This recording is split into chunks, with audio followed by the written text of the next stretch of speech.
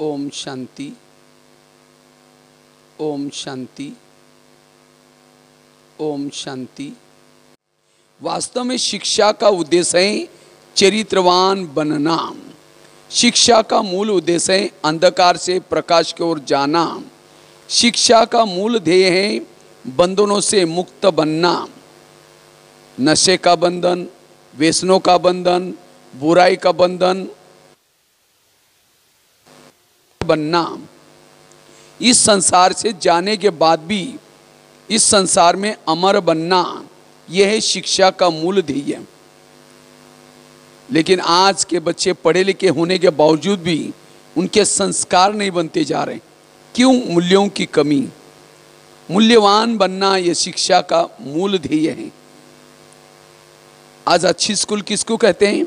जिनकी टाई अच्छी, बिल्डिंग अच्छी बसें अच्छी रिज़ल्ट ज़्यादा फ़ी ज़्यादा, हम समझते अच्छी स्कूल अच्छी स्कूल वो हैं जहाँ संस्कार सिखाए जाते हैं।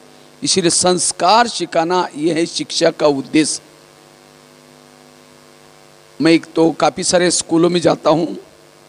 कई बार टीचर्स कहते हैं, सर, आपका कार्यक्रम नहीं होगा क्योंकि हमारे बच्चों की परीक्षा बहुत नज़दीक आ रही तो मैं उन टीचर को कभी कहता हूँ आप एक साल की परीक्षा का इतना ध्यान दे रहे हैं, लेकिन यही बच्चे समाज में जा कर के सुसाइड करेंगे, नशा करेंगे, किसी का मर्डर करेंगे तो उसके लिए आप कोई लेसन पढ़ा रहे हैं?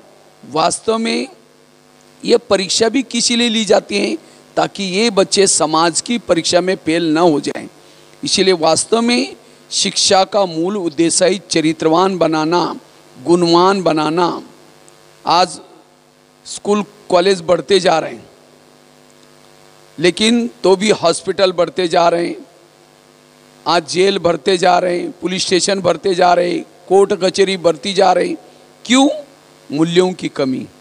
अगर इस समाज के मूल्य खत्म हो जाएँगे, ये संसार में चलना फिरना बड़ा मुश्किल हो जाएगा। इसलिए मूल्यों को सिखाना, पहले ज़माने में बच्चों को गुरुकुल में रखते थे और उन गुरुकुल में बच्चों को संस्कार की बातें सिखाई जाती थी। क्योंकि संस्कार सिखाने से भविष्य में आने वाले प्रॉब्लम, समस्या, उसके पर वो बच्चे पास हो जाते हैं और समाज में एक अच्छे नागरिक नागरिक बनाना यह शिक्षा का उद्देश्य। लेकिन आज बच्चों की केवल आईक्यू डेवलप की जाती है। जैसे टेबल के चार पाँव होते हैं। अगर एक ही पाँव आए तो टेबल हिल जाएगा, गिर जाएगा। इसी तरह विद्यार्थी जीवन में विद्यार्थी के चार पाँव मज़बूत चाहिए। एक आई क्यू दूसरा ई क्यू तीसरा यम क्यू चौथा यस क्यू